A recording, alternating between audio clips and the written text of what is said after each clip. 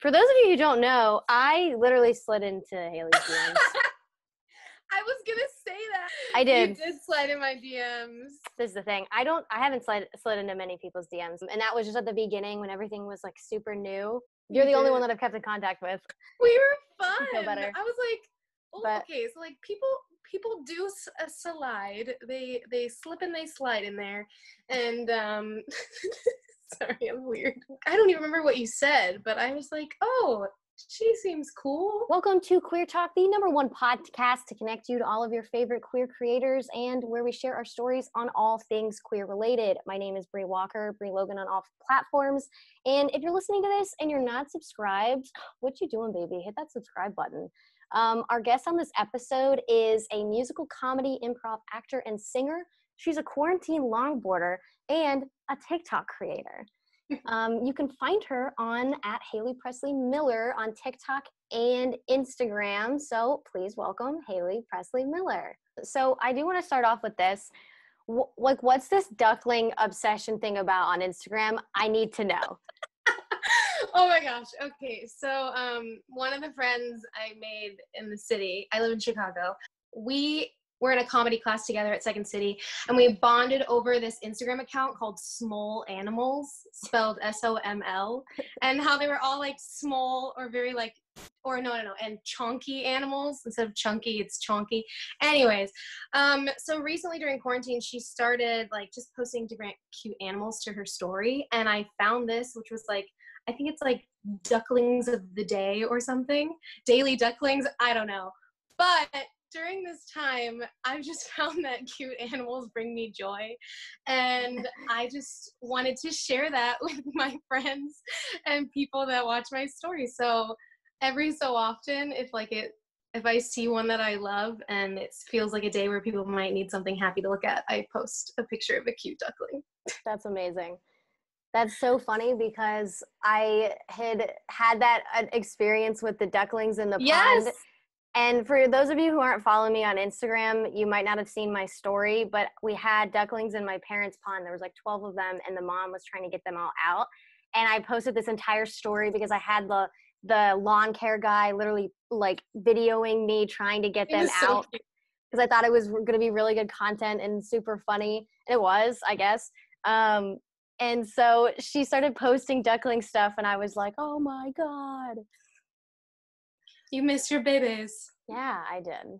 I did. And one of them got back in the pool the other day or then like the next day. So we like had to get that one out. And people were so concerned. They were coming out in droves. They were like, where did the mom go? Where are you going to put the ducklings? Did you call animal control? Like all of this stuff. Do you have a shelter for them? And I was like, dude, like I'm now I feel like I have to do Everyone something cared. Yeah, they really went hard. And I was like, we have them in a secure place. Like, there's the lake nearby. Like, don't worry.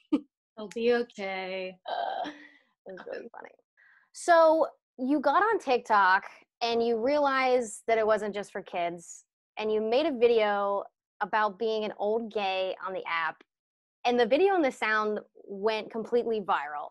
Tell me about that. So I actually okay. I originally downloaded TikTok um, about a week before quarantine, which was perfect timing, honestly. Um, and the first TikToks I saw actually were um, video like clips on my Instagram Discover page, which is normally pretty much filled with just like theater, gay stuff, and cute animals, I guess. Um, and I saw a few TikToks and I was like, what is this? Uh, I thought this was for kids. Did they dance? But they were so, but it was like all just like a big like group of queer people. So I downloaded TikTok and I did find that I am not old. People get really mad in my comments. They're like, you're 25, you're not old. And I'm like, yes, I know in essence I am not old. But as far as TikTok goes, I feel quite old. Okay, I had to Google simp. Okay, I did too. I, I did too.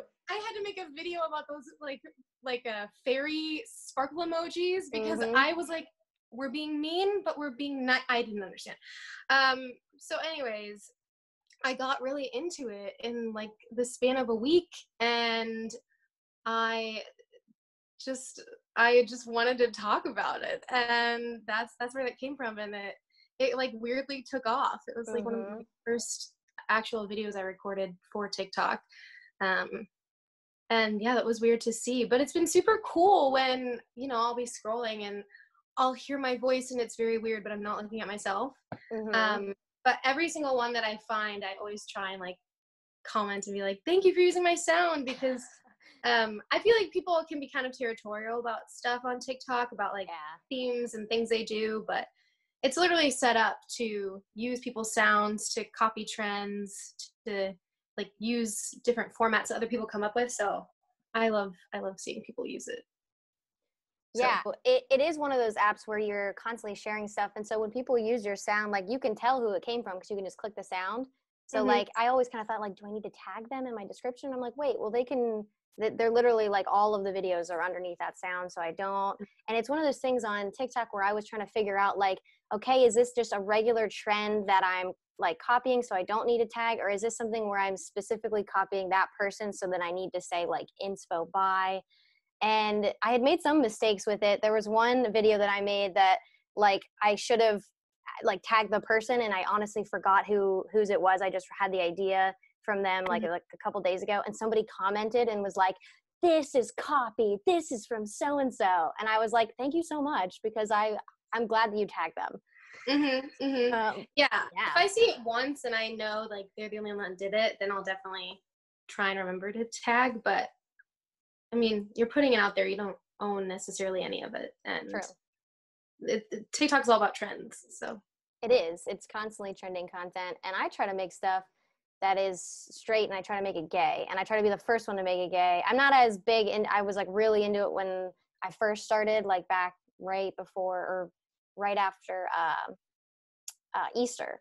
And I was like all up in the page, like, how can I create it, this for this community? And now I'm kind of chill about it. Like I only like make what I make. But uh but yeah, mm-hmm. it's super fun to take something like a straight trend and to make it gay because that's when like people like like flock to it. Yes, that's when our community freaks out. oh course. yeah. Of course. Especially your video with your grandpa where like he wanted a grandson but mm-hmm. got the fish. It's perfect. Yeah, those like straight people love those, which is hilarious. Like obviously gay people love them, but like they've crossed over into straight TikTok and I know this because I get like hate and crazy shit on them and those are the only videos I get crazy shit because it's in straight TikTok. Like swear to God. I once was scrolling you know on my roommate. So my I have a roommate and um, she's straight. And uh, I was scrolling. I was like, I kept hearing people talk about straight TikTok. So I grabbed her phone one day and I was like, Can I just look at this? I have a reaction video somewhere of myself, and I'm scrolling, and the whole time I'm just like, like a little, like it's just, it's a lot. I was a little disgusted at what I saw. Oh no! there were just so many things. Where it was like the quintessential family, and I was like, Oh, Why are these stereotypes still just being so pushed into? Oh, it was so much, but it was it was really funny to see and to see um all of those e boy thirst traps that happen. Oh yes. Okay, so another thing you've been very outspoken about um, is also being a femme lesbian. So, what has your experience been like coming out and wanting to, you know, dress and present girly because I know that you've talked a lot about it and you've made videos about it on TikTok and you've also talked about it on Instagram. So tell me a little bit about that. Mm-hmm. Yeah. Um so I didn't really figure out I liked women until I was t- um, like 21, 22. Um and that was big for me. It was right at the tail end of college. Um and I moved to Chicago a week after graduation and I moved to Boys Town, which is like the queer neighborhood in Chicago. Mm-hmm. And I immediately dove right in. But I also started to change the way I dress. Now I'm very known amongst my friends and growing up. Like, I love pink. I love sparkles. It's annoying, but I love it. Um, it's a lot. Um, very girly. Take forever to get ready. But um, I started to dress differently. I started, you know, I thought that I had to dress a certain way to fit in and to be seen. And that's a big theme all over gay TikTok right now, um, for sure. But it took some time for me to try it and then feel that it really wasn't right for me. to mm-hmm. then kind of go back to my femme ways. And while now I see a lot of femme representation more and more, I, I didn't a few months ago when I first joined TikTok, or at least when I was only seeing like the big lesbian quick TikTok creators. Um, so I wanted to be kind of a voice for that. I hope to talk about it more. I would love to facilitate more conversations in that way in my comments and kind of get down to a more real way of talking to my followers and things like that. I think too right now with everything that's going on, I am it's hard for me to feel inspired to make videos for mm-hmm. sure, just the life and what's going on, but I also feel kind of fake sometimes being forced into a trend. Like sometimes I feel like I need to also do this. Like I need mm-hmm. to do mm-hmm. the look at me, I put a face on. Wow. And I record yeah. it.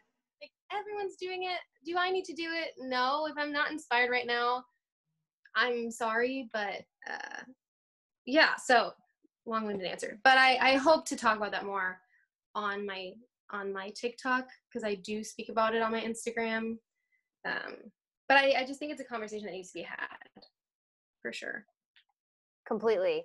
I agree with what you were talking about with feeling pulled to to make certain content when you don't really want to, but like not wanting to miss an opportunity for trending content that could garner views and garner followers because like I felt the same way and I had to really think like I mean, because you have like a certain brand, and, I, and whether people want to like like it or not, like if you're making videos, like you have a specific brand, whatever that is, if it's manufactured or if you're being yourself. And I really had to think like, is this me? Is this trend me? Like the dancing is not me. I I did it like once, and it was like ironic, and I was like, okay, I don't even like it ironically because it's not even good. Like it'd be funny if it was like good and ironic, but it's not so it's that's not me like thirst traps aren't me like i tried to do something that was a little bit like that but not really and i was just like you know what like you got to figure out what works for you and what works for like how, how you want to present yourself on a platform and like I I'll watch things and even if they were not trending now if they had trended before like I still do them because I have a lot of fun doing them but if mm-hmm. I can find something that's trending right now that like is I don't want to say on brand, but it feels like something I want to do and like I can authentically express my personality and myself in it, then I'm going to do it because I feel good when I post it. And it usually garners more people because like if you're being consistent, you know, if you're being consistent with how you present yourself, those followers are going to always consistently know like types of content that you're going to post and the types of people. So like I definitely have felt that pull and it sucks and it's hard to like navigate. Mm-hmm. Yeah, and I definitely branded myself as you know I fit in the niche of femme lesbian. Like that yeah. is me. I that is one part of me. So so okay. Um, but TikTok wise, like that's all of me on there, even if it's not all of me in real life. But um, yeah, I think it's also the pull of I never went into it wanting to gain a ton of followers and be a famous. I mean, like be a super famous TikTok lesbian, you know what I mean?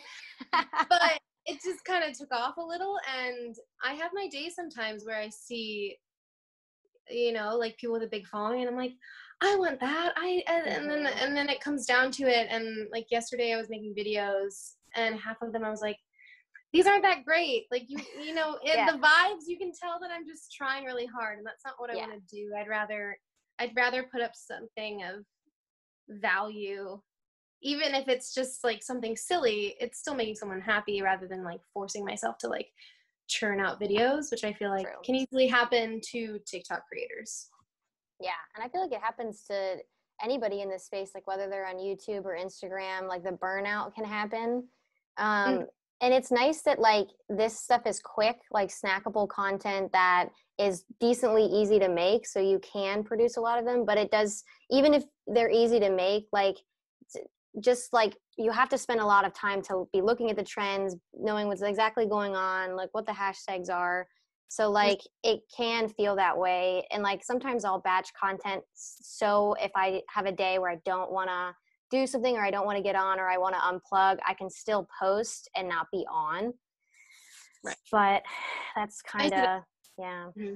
Have some drafts like there to put out if you want, but exactly. it's it's hard. It, the burnout is definitely hard, um, and I, yeah, I've started to feel feel the burnout. So, Yeah. um, wanting to get back into it though, of course, but it ebbs and flows. Yeah, I totally get that. Some days I feel super creative and I like will churn out like six videos and then I'll either post like two or three that day and then I'll have another day's worth to post. And sometimes I just feel like I don't want to post anything and I feel just like ugh. And then when I try to make videos, they're ugh, like they just suck. so it mm-hmm. doesn't even matter. I totally get that. Yeah. Yeah. So on this common thread here, what do you kind of feel like when somebody that's not on TikTok in like your real life like finds your TikTok or like knows that you post it? Like do you feel that sense of like embarrassment that you're on TikTok still? Cuz like I feel like a lot of creators will be like, "Oh, well, like, you know, I just make videos. It's not that big of a deal. Like nobody else knows in my life." So like there's like all this embarrassment that's still surrounding TikTok even though like everybody's and their mom is on it. But like when people make are making videos in like in real life, people are kind of like still judgy about it if they're not on the app. Mm. Um, I haven't necessarily run into like the judgmental people, uh, but when I first started making videos, I made some of them at work. Like uh, that one that went viral, I made that at work, and I was excited. I'm really close with my boss, and um, I'm currently furloughed, but we still like call each other and text. And I showed her, and it was hilarious because I kept going like, "I have a hundred thousand views since yesterday," and she'd be like, "Oh, oh my god!" Um, but then she recently told me, "I've been following you on TikTok," and I'm like. Mm, Please, please don't watch. I don't even show my parents all my videos. Like, Yeah. I'm like, please, please don't watch my my minor thirst traps. Please, please don't do that. uh, so that's that's the one way where I'm like embarrassed. Um, Yeah. She's like almost like a second mother. She's so sweet and so kind. But um, yeah, but I've also had it. So I'm single and uh, I've been on the apps uh, for the past couple months, and now it's a thing for people I match with to message me that they recognize me, but they don't know how. oh my god. And then about two days later, they'll text me like, I saw you on TikTok. You were on my For You page. And granted, I have control of the videos I put out. You know, I know when I'm roasting myself or not. Um, but sometimes I get worried and I'm like, what? But which video was it? Because some of mine are all like, mm, I'm cute. And Yeah. other ones, I'm being very weird. Uh, so that's my concern there. Granted, they're still talking to me at that point, so they must like it. Uh, but Must be working I for you. do, I do get quite nervous when they send that. Uh, but I mean, it's fine, I guess. And I've had a couple friends, I've had a couple friends text me uh, and be like, "I saw you on TikTok," but apparently it's because they send, they like flood the people who are in your contacts your videos. I guess. Oh, I I heard know that. I heard recently if you have Okay. people in your contacts and they download TikTok, sometimes they'll yeah, watch out. Sometimes they'll send them your videos to the top of their free for you page. Interesting. The algorithm goes hard. I know that like because my mom has a TikTok and she her TikTok is like Does hilarious. she make videos? No, she just watches them, but she's like she she's very productive driven. So all of the stuff Uh. is like learning sign language, like Christian sermon stuff, and like literally all of the shit that she wants to learn, like baking stuff. She has like a whole Asian cuisine thing because she's never been good at it and she wants to be better at it. So it's all just like things that she just wants to learn and be better at. And I'm like, Jesus Christ, woman, like I mean, it's a it's a good quarantine tool, you know. true. Very true. That- is but she sees gay stuff my sister sees gay stuff like my cousins my roommates will all be like god like i think i'm on gay tiktok because of you because i followed you and i'm like you're welcome you're welcome. It's the best. Have you run into people judging you for making TikToks? You mentioned it a little bit earlier, just like how people. yeah like i don't know when i first started like you know i had just family just like busting my balls for it and i was like yeah you wait you fucking wait and um but once I kind of started going by, they're like, "Oh my god, like this is this is so cool." They're not like a, "Oh my god, you can make something of this." They're just like, "Wow, that's really neat. Like that's super cool." um, like a little. They're supportive. It's like a kind of patronizing, but also like they don't really know. Like I'm like, yeah, like I had a hundred thousand views. They're like, good, job, good job. Like they're not 20- in it to like know what's how Yeah. big. yeah. um and i told my grandpa i was like dude like you have like a million views he goes sweet is it the fishing one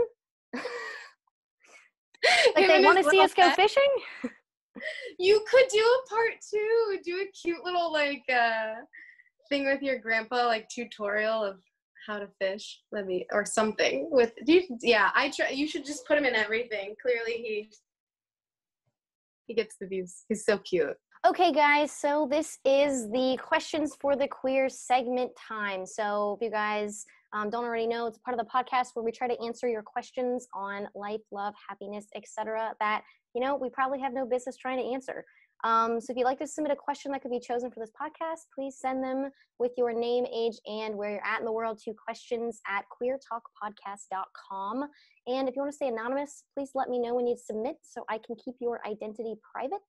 Um, but this question is coming from nicole. Uh, she's 26 and she lives in long island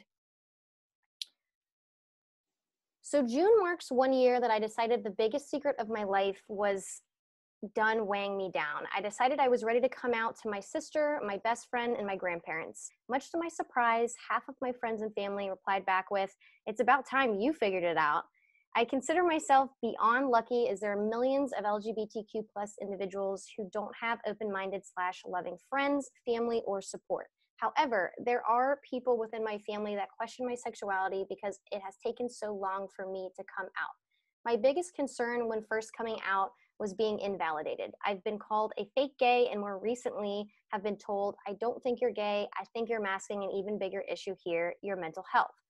I've been in recovery from an eating disorder for 11 years now, suffering from depression, OCD, and body dysmorphia. Whew. The last few months during this quarantine has definitely caused me to struggle more. All throughout middle school, I knew I was different, but did not know how. I was bullied for how I dressed because I didn't feel comfortable in what everyone else was wearing. It led to an eating disorder and depression. Um, also, boyfriends came and went, but for some reason, mine seemed to be going quicker than others. When it got to the point in the timeline where intimacy was on the table, I ditch. I didn't lose my virginity until after college uh, at 23, so my serious to my serious boyfriend at the time. Since then, I've had two serious relationships, both with uh, men. I always thought there was something wrong with me, like I was broken. Um, it was normal for sex to feel like a chore, and that faking pleasure was what everyone did.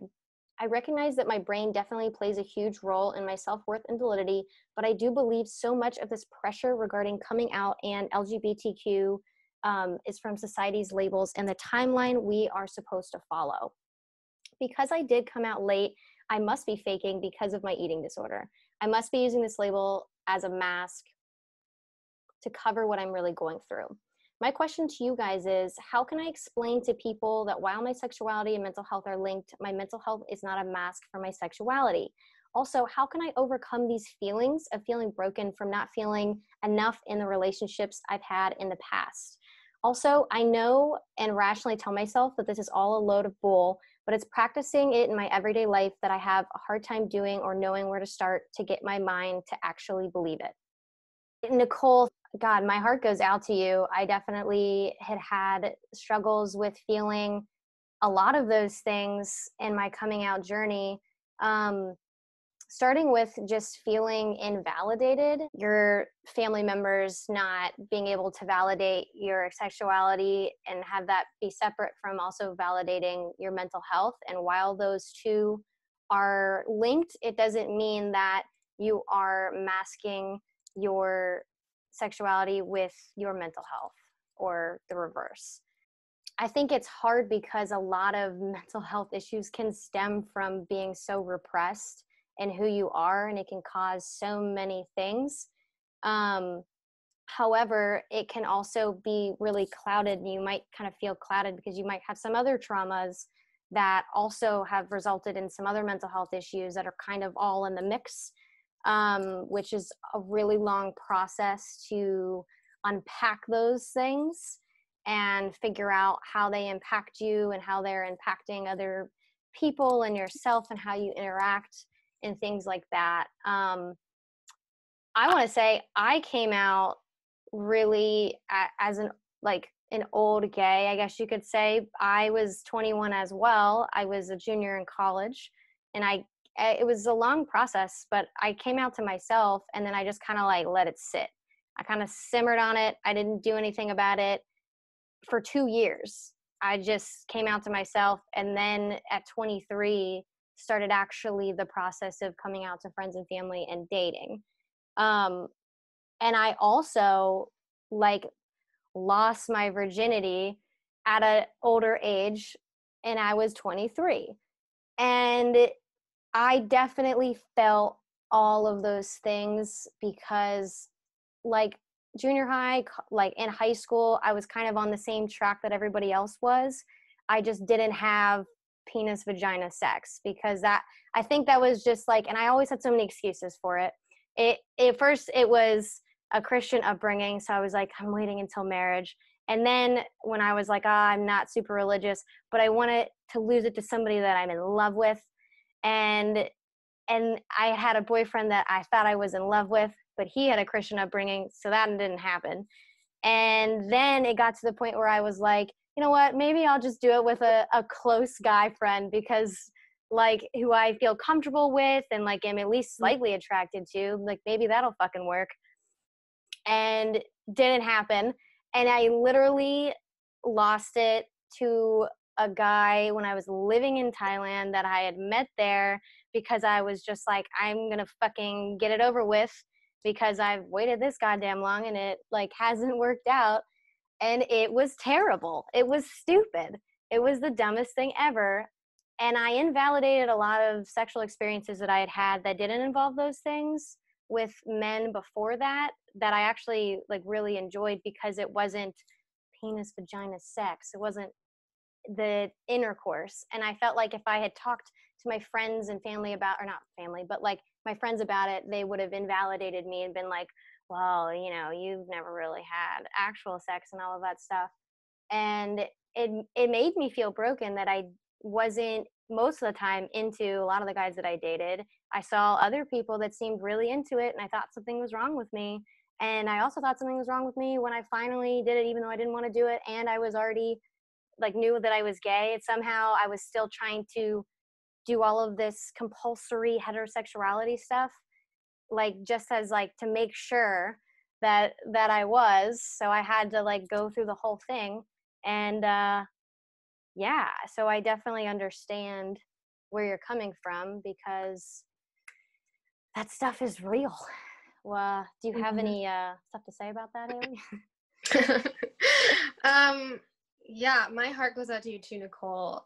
That's a lot. I mean, coming out alone and figuring out your queerness, even that is just a lot on top of other things. Um, I think it's hard to like we're it's hard too when people also kind of in, invalidate your coming out by saying you know you mentioned they said it's about time you figured it out uh, i mean had they uh, but it takes time for you. I yeah i came out later. I came out as bi. Um, i did that trajectory. Um, and i too had to come out to myself first and then sprinkle in friends. And I it took me a long time to come out to my family. Um, I too was raised in a Christian family, granted a very like liberal Christian family, um, but it still was was hard. I'm so sorry that you've been called a fake gay. Being gay is hard. Um, I think sometimes to adults they can think as though it's like a trend like everyone's doing it it's something exciting to be a part of but when it comes down to it um, being gay can make your life harder so it's not necessarily something one would choose themselves especially if they have had a harder life. Um, so i'm so sorry that they've they've tied that to your mental health. And i agree that a lot of mental health issues can come from it comes from how you were raised and repressing those things. When it comes to having boyfriends and not uh, you know enjoying the intimacy and ditching out on it that's normal. I think for me when i was figuring it out the quote i will have on my tooth well no no. The quote i won't have this on my stone that's a lie. But like the quote that i quit saying all my friends want me to say this when they ask about like me coming out and they're like you dated men before. A mouth is a mouth and your eyes are closed okay? Certain things are meant to feel good and fine and be enjoyable and be fun if you're both consenting. It's it's it's going to be a nice time but obviously things feel better and deeper when you have that emotional connection with someone that deeper love with them for me the first time i slept with a woman it was like an aha moment my whole body i became super anxious uh, that doesn't make sense, but I did. And I remember she'd fallen asleep and I was looking at her and I was like, someone pinch me. I think I'm sleep. I think I'm like dreaming this. This feels so right though. Um, because I have been in love with a couple men. I've had a lot of relationships with men. Um, and while certain things felt good, it, it, it doesn't beat how much better things for me feel with a woman. And mm-hmm you i think it's also sad that as a society and people in general are quick to tell a lesbian woman or a lesbian in general you know how do you know you haven't been with a man because there are you know gold star lesbians yeah. but you don't have to be with them to know and for some of us it takes some trial and error to know and that's okay yeah. too um and it's it's it's good that you know you've you've taken the time to try at least to them to your family because it seems as though if you had it then they might oppositely be saying well you haven't tried it to know yeah and i think that it's in itself it's it's like either way you go they're gonna they're going to question how valid you are. But yeah, Nicole, I just want to let you know like you're valid if you've never slept with a woman before, you're valid if you have, you're valid if you change your mind. People change their mind. People change their mind about their labels when they're trying to find their way, you know. Um and you're valid either way. I think for my family what helped them because my coming out process when I came out, it went kind of badly, and then it's been slowly getting better, um, at least as far as my parents go. Um, so for them, I knew this all along, but I have now seen it to be true since coming out and dating women that having them see me with a woman, having to physically see me dating and being in love with a woman and holding her hand and kissing her, that that has really helped them navigate that this is real this is happening. That shouldn't be the case, and maybe that won't be the case, but as time goes on, they'll get more used to the idea as you keep speaking on it and then going about your dating life like it will get better um, the other day my mom i was showing her some of my tiktoks for the first time and she asked me like femme okay so what are the different things and I was like, well, there's a chapstick lesbian, there's lipstick lesbian. And immediately she turns to me and goes, oh, that one's you. And that was the first time that my mom has ever validated the fact that I call myself a lesbian. That is, that's it. Because up until this time, I went through a breakup four months ago. My mom immediately was like, well, I hope I, you, that you'll keep your mind open to men, maybe. And I, Aww they're in northern Florida. That you'll keep your a, like uh your mind open to like a nice southern man. Uh uh And I was like, there are nice southern women. Okay. Yeah. but it just takes as far as family goes, I think in a lot of ways it just takes time. It just takes time for them to get used to it, to digest it, mm-hmm. to see it or not. Yep. It just it just takes it just takes time. it really does get better. I know it's a cliche term, but it truly, truly does. Yeah. Um, and in reference to you talking about this timeline and um, the pressure regarding coming out and um, you know society putting labels on you and this timeline that you're supposed to follow i felt the same way because i came out and i felt like i had missed out. I felt like i had went through the motions and i was doing what other people were doing in junior high and in high school and but i wasn't really i didn't have the rich experiences that everyone else did but i didn't know that at the time then then i know it now. And and i thought oh man like i missed like coming out after high school and getting to experience being out in college where you're with literally thousands of people in your age group that are wanting to experiment and they're figuring themselves out too. And i felt like i completely missed out on that. And it's taken a long time and i'm still trying to get through the fact that i feel like i had missed out because now i'm you know i came out when i was 23 and then i had a year and a half relationship and so that ended five months ago, and then quarantine hit. So it's been really, really, it's been tough. It's been tough um, to, you know, be dating in those circumstances and to not have that huge cohort of people that makes it a little bit easier.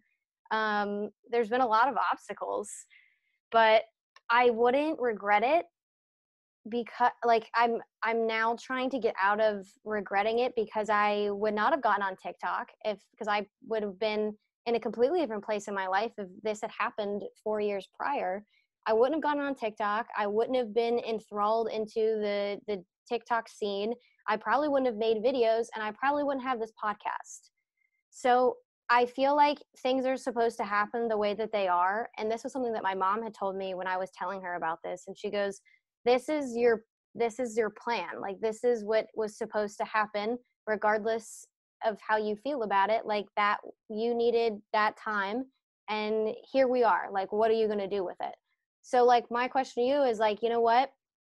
Like you're here you're going through this like many of us you know what are you going to do with it? And for me it was giving back and doing this podcast and hopefully people who are in their you know mid 20s and who are in the same space as us can be like oh wow i'm not the only one. I don't have to feel embarrassed anymore about you know not losing my virginity until i was 23 and all of the stuff surrounding what sex is and what sex is not and like all of that dumb shit. And you know be, being okay with the fact that you know you had gone through the motions and you hadn't really experienced it so now you're doing it a little bit later and that's okay like i had to experience a lot of that stuff a little bit later because i was repressed and it's okay and it, mm-hmm. you got to take it back and it, if you take it back it doesn't make it makes it smaller. If you can make light of it you know make fun of it like I've, i haven't made fun of it on tiktok videos but i probably will at some point. Um, if you can make light of it then you can conquer it. Yeah i definitely i've definitely thought about that too how i get i get a little jealous sometimes of the youngins on tiktok because i i wish i had had that growing up i think a part of the reason why it took me so long to figure it out was because I didn't have an example in front of me. All, all, all we had was Ellen, and Ellen is not my type. Yeah. So, uh, she's cute, but she's not for me. Um, but I, yeah, I was thinking about that today, like uh, the Avery Cyruses and all those like 19 year olds. Mm-hmm.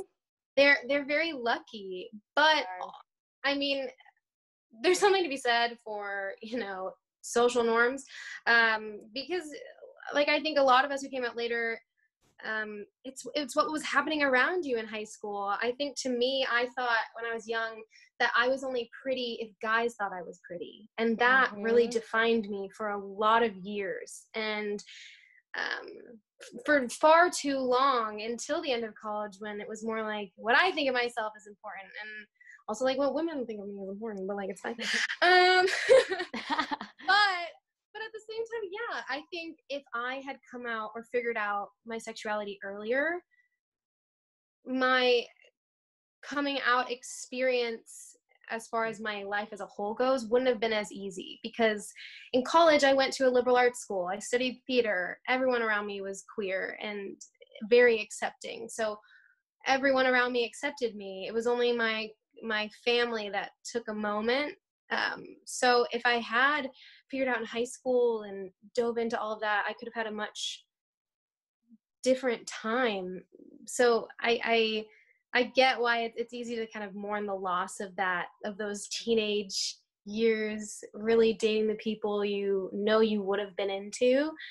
But at the same time figuring out as an adult we have so much more at our disposal to uh to like make us more comfortable and it makes it almost easier sometimes not always but for me at least. The kids of today are lucky Gen they Zs, these, they're lucky they have all these you guys. TikTok lesbians. You know how to work every single piece of technology. Y'all can be whatever you want with whatever hair color you want. I could never have done that. it's good that we're evolving through generations though you know like even though we didn't get to it's good to see it because think about like all of the work that all of the you know queer people have put in over the years for us to get here specifically queer people and people of color Mhm. have literally fought and they've been they've died they've been murdered. Like there's been so much that has happened for us to get here. Like Yeah. appreciate where you're at you know? It, it, it could have been a lot worse. Yes without them without you know it's it's pride month. Without what happened with the stonewall riots what, without all of those people this would not be possible you know the, the Mhm. these out and proud queer tiktok creators could could very well not be possible for you know it wouldn't be possible if it wasn't for what happened and the people that like honestly they've laid down their lives to let us have an out and proud future Mhm. and we are all forever you know indebted to them But yeah, Nicole, I totally get, and I'm going to go back to the invalidation part because when I first started coming out and I no longer was looking at men and I didn't see them and I wanted women to see me, but I was still in that like weird space. So, like, in terms of presentation, like, I definitely was more, not that I'm, my style has changed dramatically, but I definitely have gone back to my roots of being a tomboy kind of STEM area. And I had some changes and I and I definitely know them now, but I when I would do that, I wasn't getting any attention at all. So like it, it was hard because it's not like I wanted attention from men, but I wasn't getting attention from women either. And so I was like, hmm, like, uh, like what do I do with that? And so sometimes I would dress in ways that would would garner that but I didn't want to dress that way. So I feel like I was kind of the opposite of you, Haley. Like I I didn't want to dress girly, but I kind of felt I just like was in this weird space of like, oh well like I don't feel like attractive enough to the people who are giving me attention and to like just the women that I've you know, my friends and things like that. And so it was a challenge for me to get back to those roots of just my tomboy self and like sometimes being girly. Uh, but most of the time just like being myself and because I, I don't you know typically wear makeup so i use makeup like when it's like fun and i'm going out and stuff like that but like my presentation changed just a little bit and it made me it feels so much better and now that like i'm in that space where you know i i'm confident in what i'm wearing like it's not like i'm wearing things to get attention that was something i had to deal with as well but like just being comfortable in your own skin and wearing stuff not for other people um you know like in college i remember wanting to wear literally like my birkenstocks and i wanted to wear these tom girl jeans and just something that wasn't even like super masculine but it was masculine enough for me because i was afraid that people i would wasn't going to get the attention i wanted and I, I wasn't going to be as pretty as some of the other girls there and like i just i don't know and i like would do that and i look back like what the fuck was i doing like what it's, was it's i the queer doing? struggle It is. Ugh. it's it's everybody okay everybody loves attention i mean people people like attention it's one of the things that's very human i i it's so interesting to like just hear the way that it worked out for you um i i think back to like the times though when i i tried to dress a little more masculine and it went back to that thing of am i attracted to this yeah and I want to date it, or do Yeah. I want to look like this? Yes. And it's it's that whole thing. But like as an opposite viewpoint, dressing femme, I, I it is kind of annoying sometimes to we hear this a lot, but as a femme, it's annoying for people to not to also not be seen and that's also too i don't i don't know how you present nicole but um however you choose to present is valid mm-hmm. and people will know you're gay if they get to know you or if by exactly. if you're shouting it from your rooftops but um it is hard though I mean, like it's it's always flattering to get attention, even from people you're not attracted mm-hmm. to. But that's the same for if a girl hits on you and you're not yeah. actually like that into her. It's flattering, yeah. but but uh, I, you know, you're just not into them. I've found even in queer spaces not feeling valid, even though I am queer, like I belong there. Um, but visibly, I'll feel sometimes like I'm not a part of this group. I I went through kind of this phase of dressing more masc when I would go to gay bars because I wanted when I was single because I wanted people to know that I was gay. I wanted girls to hit on me, but it, it didn't feel right. But every time I dressed like myself femme, you know, they'd be like, "Oh, where the are you looking for that bachelorette party or your gay best friend?" And I'm like, Aww. "That is not a good term to use." Also, like no, I am my own gay best friend. Thank you. Um, I'm looking for just my friends. I went through this time as well when I started dating girls because I predominantly um, am attracted to anywhere from like chapsticky to more masc. I'm I'm girly enough for everyone, and so I'm normally not as attracted to femmes, but I've I've dated across the spectrum. Um, but I found that I started I subconsciously did this, and I realized this right after my last breakup that I was letting my relationships with women validate my queerness, and I wasn't doing the work myself to just feel valid. I I very much liked going to out in queer spaces with them because then therefore I was being seen as a part of the group by being on their arm, by holding their hand, by kissing them. I was a part of it by being adjacent from another queer being rather than just feeling valid in myself. And it wasn't until after, yeah, this past relationship I had that I realized I still was feeling like that. Um, and I think that's something that I'll struggle with for a bit, you know, also just as a femme, I think that takes some time. For those of you who don't know, I literally slid into Haley's DMs. I was gonna say that. I did. You did slide in my DMs. I did. I did at the beginning of my gay TikTok journey because you were the first one that showed up, and I I don't really. No, I slide it. Well, this is the thing. I don't. I haven't slid slid into many people's DMs. I've only done it like five times where I've initiated it, um, and that was just at the beginning when everything was like super new. Um, you're you the only one that I've kept in contact with. we were fun. I, I was like, but, okay, so like people people do a slide. They they slip and they slide in there, and um, sorry, I'm weird. it's a slippery slope. Um, but they yeah. So like I don't know. You were I don't even remember what you said, but I was like, oh, she seems cool and uh nice and uh no but i was gonna mention that i was like do we need to tell them you should have because I was you, going to. I was I, going to. I was like, I literally, I slid in your DMs and I said, if you don't like deep dish, we can't be friends. I will tell you, I did, I did lie a little bit. I, I mean, I'm okay with deep dish. I just thought it was something to connect with you with on uh, Chicago. Um, and then you asked me what place I liked, and I literally texted my cousin, and I was like, "What place did we go to when we were up there? I need to know." Hey, but I like I like getting to know people. I think me too.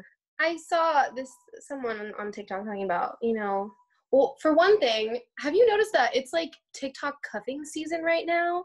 Like everyone's pairing up. I've noticed that. Um Who is pairing up? I know Sophie and Avery. I and think. then there's um, yeah. Olivia and that blonde. Okay. They're all like 19, so they don't affect my life. Yeah. Um, and then the girl from Outer Banks and another famous TikTok lesbian. Oh, cool and then I've just seen it happening, and I'm like, it's fine. They're 12. Um, but Just kidding. Don't come for me. Their stands are gonna fight me in my comments. Um, Is 19 too young for you? What's too young for you? Yes. Do you have to be 21? honestly, my cutoff is I'm like 23. I think okay. I've always dated older. Um, I like more mature people. And I think too, I'm now at the age where I'm so far beyond college that it really doesn't impact mm-hmm. my life. Where, you know, when I was right out of college, it was like, where'd you go? What was your major? And I granted, I still am curious in that. Um, but I, I I figured out life now, and I've like talked with some 22 and 23 year olds in the city, even some people like 21, because that would be a definite cutoff. Um, but there's still like let's go dance at Scarlet and I'll be and I'm like, okay, now like let's go to a cocktail lounge, let's chat, let's have some like really good hors d'oeuvres. let's talk about life. I love a charcuterie board. Talk to me about your exes. talk to Oh, talk to me about your exes over cheese and aged meats. Please. So, guys, uh, if you are loving this episode, getting value out of it, pre- please drop us a review on iTunes. This helps us get discovered by more queer listeners just like you, so we can get this in the ears of people who are looking for some cool, relatable gay content. So, do you have any advice for all of the femme lesbians out there? Any advice for kind of overcoming those challenges or like getting women to see you? Like are there anything that you anything that you've done or had experience with like where you can say certain things like i don't know like do you listen to girl in red or like do you like i like your style like what are some things that yeah. you're like signaling you're like hey bitch i uh, i'm a bad lesbian i did not listen to girl in red until i till until i found tiktok I me too not. me too okay. i was like i'm from a tegan and sara era mm-hmm. um but so I think for me, it took a little bit of time. One to become more comfortable with myself, um, but going out like to have the women I wanted to see me see me. I think it's it's pushed me to be a little bit more aggressive. Um, granted, like I naturally have an aggressive. I'm loud and I'm outgoing. Um, but when it comes to meeting people and in those social situations, I do get a little shy. So it's really pushed me to have to go up and talk to someone, even though I'm really scared to, or go make the first move. Um, because honestly, I do not get hit on in gay bars. I don't. I don't.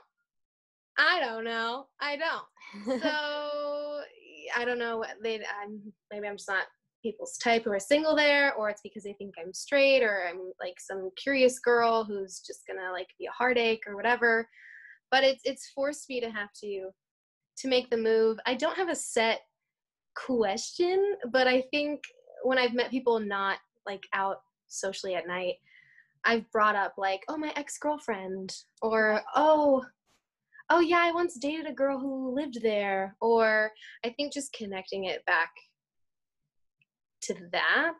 Mm-hmm. Which then is that problematic? I don't know. Uh, bringing up exes when you first meet someone, but I guess I bring up exes. I should rethink that. this is the so. I mean, we're recording this third episode. This is the first time anyone's brought up exes. like the other I, two, like that, didn't. Is that bad? I don't find it bad. I guess. I think it's the way in which you talk about them. Like if if you're like on a date with somebody and they're like, or you're just hanging out with somebody, right? right. In the queer space, and they're like, oh, yes. "Oh, my ex ex was a fucking bitch, piece of shit." Like if they're just like constantly degrading their ex, like it's That's it's a red flag.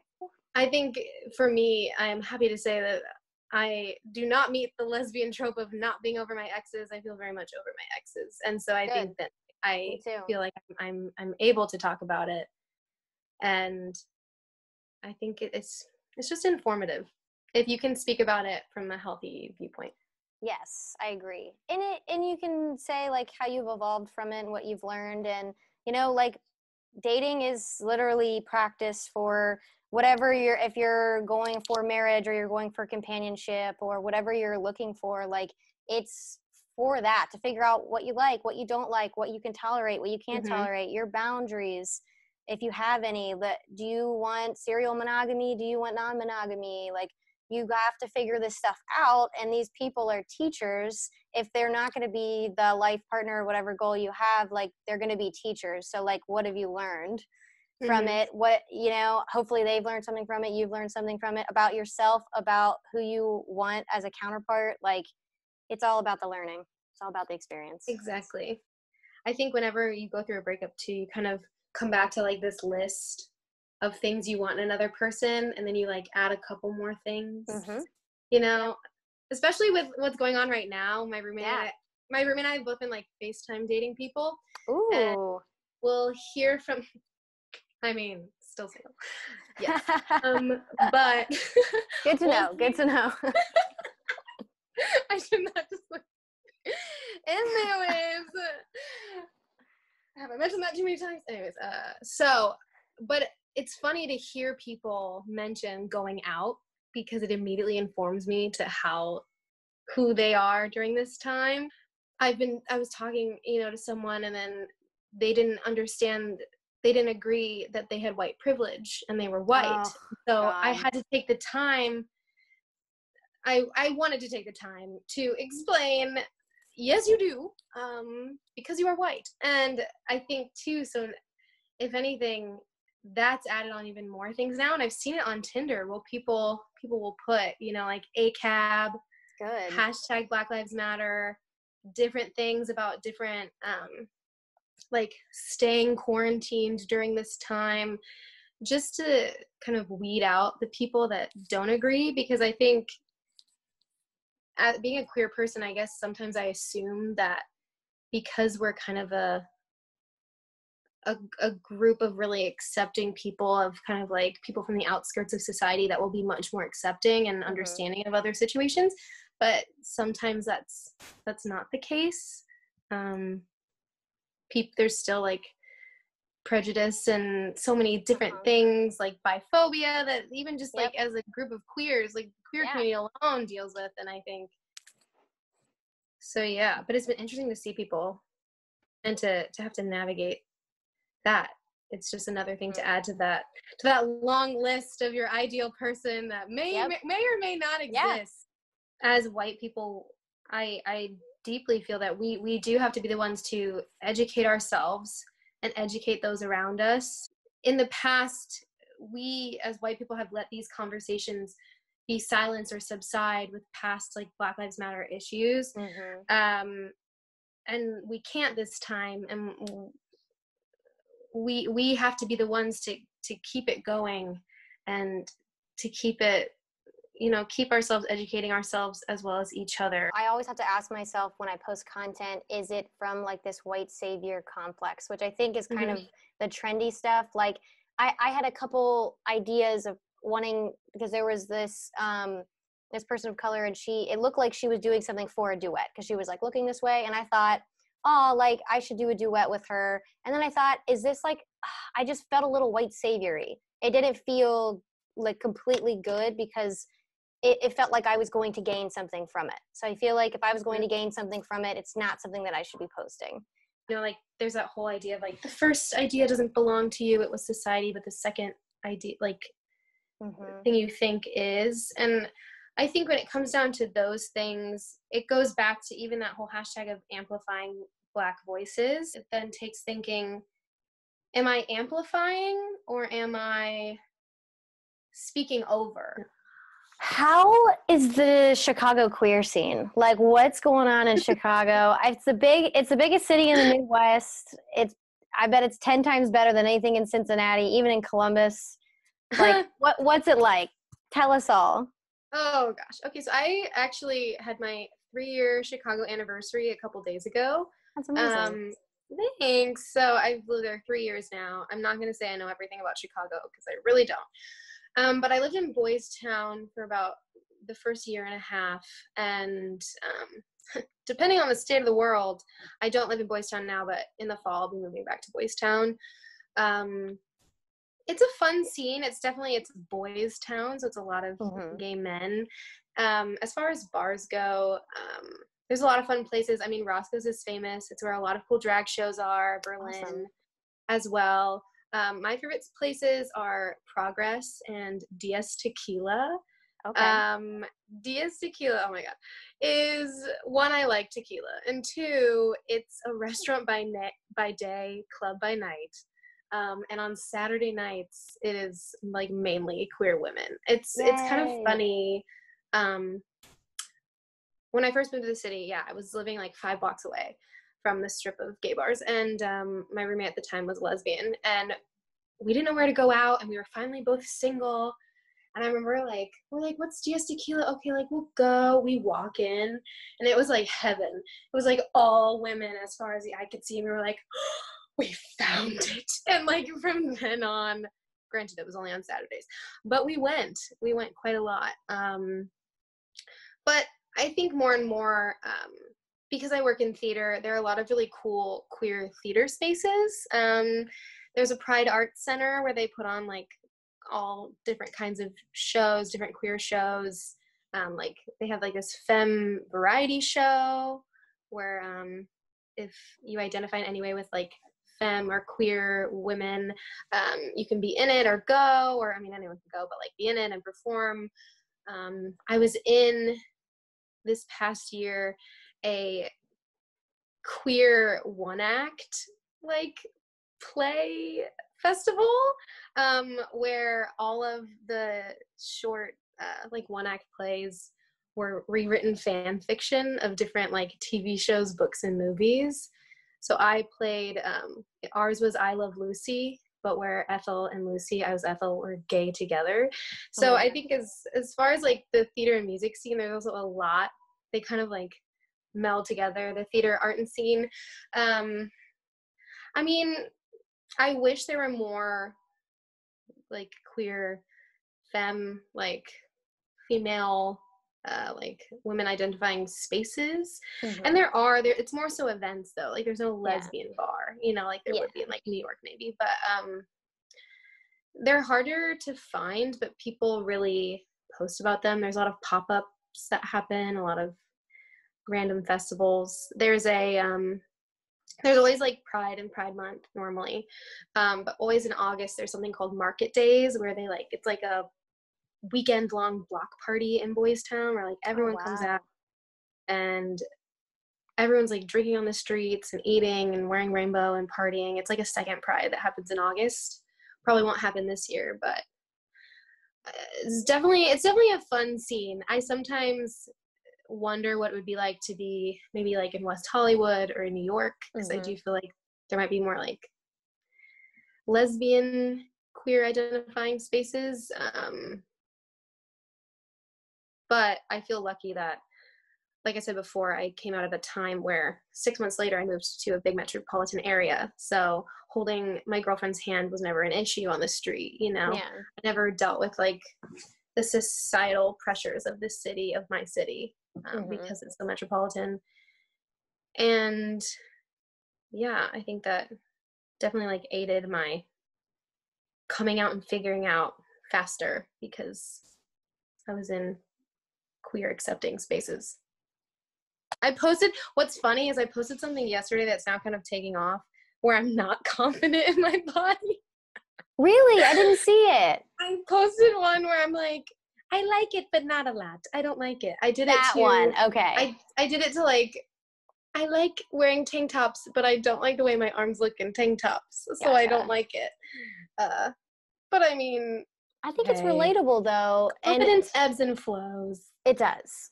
And I think body positivity can go either way because I think people can get fat shamed and people can get skinny shamed as well. And, Yeah, and then and then the so skinny shame people that. don't get validated because it's like, well, you're fucking skinny, so like, Yeah, I dealt with like a lot of bullying in elementary school and middle school um, for my weight. Like I've always been like a thick gal. I have always been curvy and um, yeah, overweight my whole life. Um, but in high school, when I really found like my passion for theater, um, that gave me a lot of confidence, and I was friends with a lot of people that that didn't come up. Now, granted, like if you go on my Instagram, all of my best friends look like Victoria's Secret models. They're all like really tall and skinny, beautiful. And so a lot of high school for me also like being queer and not knowing it, I was like, they're all getting so much attention and it's because I'm ugly and fat. And like of course that's not it. no, Like yeah, I wasn't confident. That was on me, you know, and also like Mm-hmm. people's opinions don't matter. But it really took college finding my voice, and I actually played a role in. Okay, this is very niche. So if anyone listening knows what I'm talking about, in the musical Fame, there's a character that um, wants to be a. It's about a school about a high school of the arts. She wants to be a dancer, but she's overweight, and people make fun of her in the musical for being overweight. And in the end, she realizes she actually should be an actress and wants to be an actress. So I got cast in this role in college, and I was kind of annoyed because I'd already played Tracy Turnblad, and I was like, great, another like niche, funny, overweight character, fabulous. I don't want to play this.